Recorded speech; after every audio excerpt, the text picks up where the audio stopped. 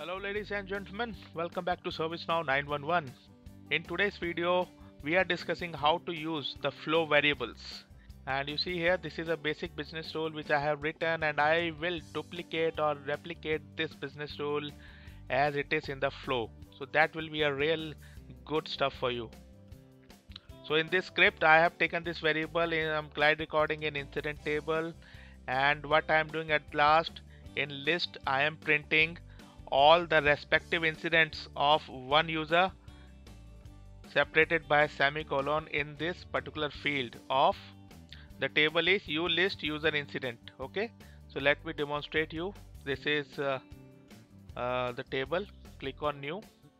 Select the user let's say Fred Luddy as soon as I save it you will see the result here. All these are the incidents which are assigned to this user so the same we are doing in this script okay? So now let's go to the flow designer.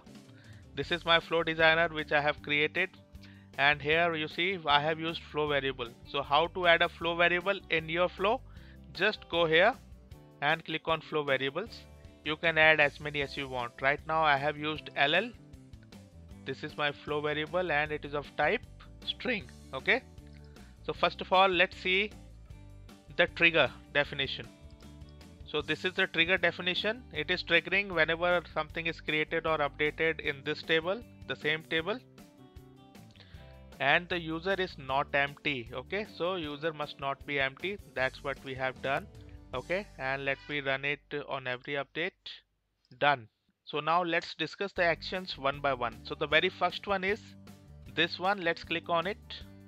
So here we are looking up for all the incident records. Where assigned to is you see here the user which is affected the user which is changed from the trigger okay? The same thing. And active is true means incident is true. So from step 1 we have all those incidents the bundle of those incidents. So now we are traversing each of every incident one by one. You see here we are using for each.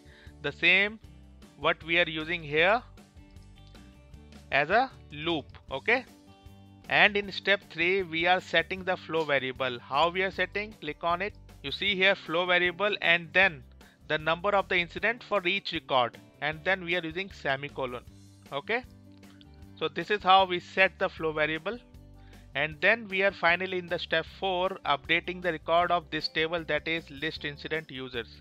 So you see here incident assigned this is the name of the field is equal to flow variable. The flow variable which we have captured here okay which we have assigned here properly. So this is how the complete thing is working. So you see here under step 2 step 3 is inside step 2 the same we have here. Under while we are assigning the variable like this and this is happening in the loop. And finally we are updating the record.